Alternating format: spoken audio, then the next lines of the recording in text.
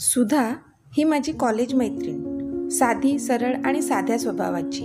लग्न होऊन मुंबईमधून पुण्याला स्थायिक झालेली. अधूनमधून आम्ही फोनवरून बोलायचो. आज तिचाच फोन आला होता. नवऱ्याबद्दल सासू सासऱ्यांबद्दल मुलांबद्दल भरभरून बोलत असे ती. मी विचारलं जॉब करते की नाही? त्यावर म्हणाली आधी करत होते ग पण आत्ता नाही करत. म्हणजे वेळच नाही मिळत घराच्या गडबडीमधून. घरातली कामं स्वयंपाक मुलांच्या शाळा मुलांचा अभ्यास सासू सासऱ्यांची औषध आणि पथ्यपाणी सगळं करताना स्वतःकडे बघायला पण वेळ मिळत नाही. नवरा ऑफिसमध्ये असतो मग घरातलं मीच बघते. त्यावर मी म्हणाले अगं मग स्वयंपाकासाठी बाई ठेव तेवढंच तुला थोडा वेळ मिळेल. त्यावर तिचं उत्तर अगं घरच्यांना नाही आवडत दुसऱ्याच्या हातचं. त्यांना माझ्या हातचंच आवडते. आणि सासू सासऱ्यांचं पथ्याचं पण असते ना ते बाहेरच्या बाईला नाही जमत. मी ठीक आहे म्हणाले आणि बाय म्हणून फोन ठेवून दिला. मी तिचाच विचार करत राहिले.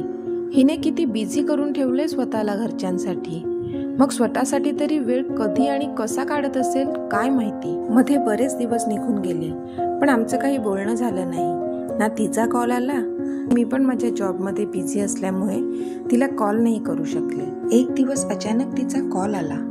मी फोन उचलला तर समोरून तिचा नवरा बोलत होता. त्याने जे सांगितलं ते ऐकून माझ्या पायाखालची जमीनच सरकली. दोन दिवसांपूर्वीच सुधाचा मृत्यू झाला होता. मी सुन्न झाले. असं कसं होऊ शकते? कालपर्यंत माझ्यासोबत बोलणारी माझी मैत्रीण आज नाही आहे मी कसा विश्वास ठेवू? दुसऱ्याच दिवशी मी तिच्या घरी गेले. तर कळालं तिला ब्रेन ट्युमर झाला होता. तिने तिच्या डोकेदुखीवर खूप दुर्लक्ष केलं. त्यामुळे जेव्हा ती डॉक्टरकडे गेली तेव्हा खूप उशीर झाला होता. लास्ट स्टेजवर होती. दोन महिने दवाखान्यात होती. आणि आता ती आपल्यात नाही आहे मला खूप वाईट वाटत होतं.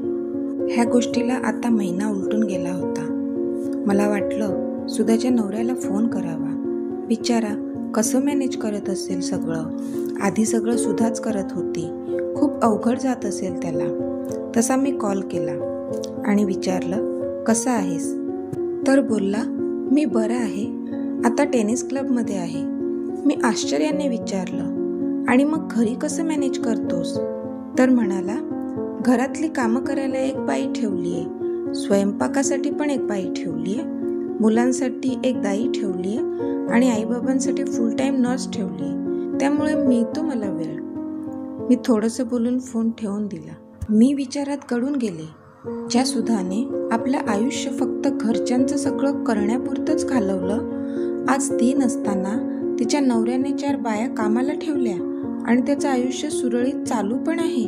मग सुधाचं काय आणि कुठे चुकलं? तर मैत्रिणींनो सांगण्याचा हेतू हाच आहे की सर्व स्त्रियांनी घराच्या प्रती आपल्या सगळ्या जबाबदाऱ्या पूर्ण कराच.